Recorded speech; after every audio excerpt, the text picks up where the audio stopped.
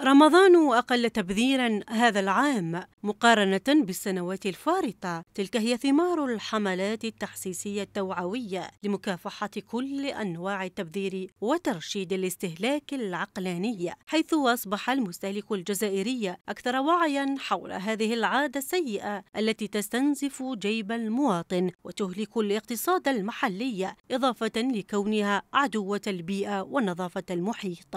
رمضان 2024 لم يكن هناك في بدايته يعني مظاهر اللهفة والفرط في الاقتناء لذلك آه، كنا يعني آه، نتفائل أنه مظاهر التبذير التي اعتدنا عليها خلال شهر رمضان وخاصة في مادة الخبز ستكون أقل آه، لأنه اللهفة والفرط في الشراء يقابله في المخرجات التبذير الغذائي. والحمد لله يعني حسب يعني المعاينة اليومية ل ما, ما يتم رميه آه، نلاحظ أنه ما بقاتش هذيك الظواهر الربي العشوائي والكميات الكبيرة من الخبز وحتى الحلويات التقليدية. الخضر والفواكه. وفيما يخص مادة الخبز التي تعتبر الأكثر استهلاكا وتبذيرا في رمضان تشير الأرقام إلى تسجيل ثلاثة طن من الخبز الذي تم رميه خلال الأسبوع الأول الذي يعرف أكبر نسبة استهلاك وهو رقم ضئيل مقارنة بالعام الماضي.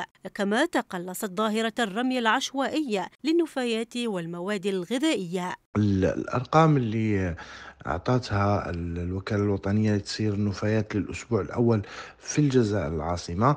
آه، ثلاثة طن وشو كنا نشوفه قبل سنوات خلال الأسبوع الأول الجزائر العاصمة كانت آه، يعني آه، الخبز المهدر فيها كميات أكبر بكثير بكثير لأنه العام الماضي سجلنا 100 مليون خبزة وصلنا إلى تسجيل 5 مليون 5 مليون خبزة يوميا.